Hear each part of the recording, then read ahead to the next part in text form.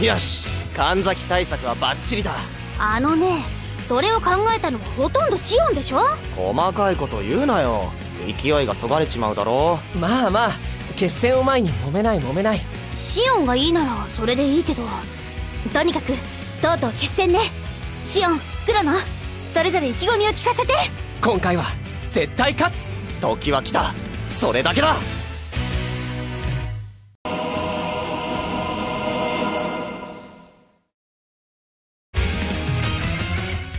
よし神崎対策はバッチリだ。あのねそれを考えたのはほとんどシオンでしょ？細かいこと言うなよ。勢いがそがれちまうだろまあまあ決戦を前に揉めない揉めない。シオンがいいならそれでいいけどとにかくとうとう決戦ね。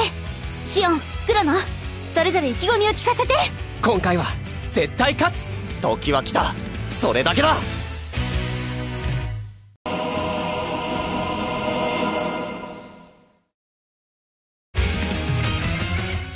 よし神崎対策はバッチリだ。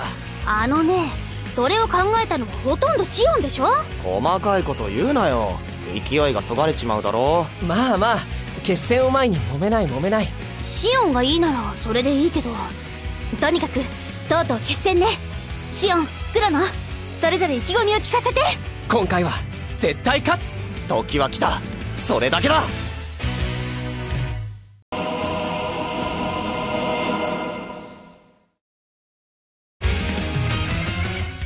よし。神崎対策はバッチリだあのねそれを考えたのはほとんどシオンでし。ょ細かいこと言うなよ勢いがそがれちまうだろまあまあ決戦を前に揉めない揉めないシオンがいいならそれでいいけどとにかくとうとう決戦ねシオンクロノそれぞれ意気込みを聞かせて今回は絶対勝つ時は来たそれだけだ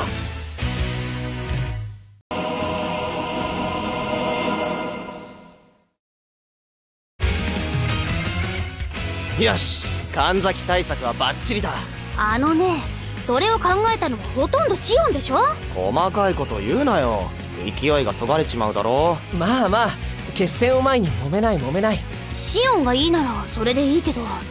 とにかくとうとう決戦ね。シオンクロノそれぞれ意気込みを聞かせて。今回は絶対勝つ。時は来た。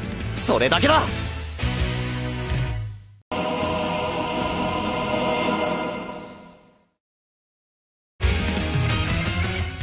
よし神崎対策はバッチリだ。あのねそれを考えたのはほとんどシオンでしょ？細かいこと言うなよ。勢いがそがれちまうだろまあまあ決戦を前に揉めない揉めない。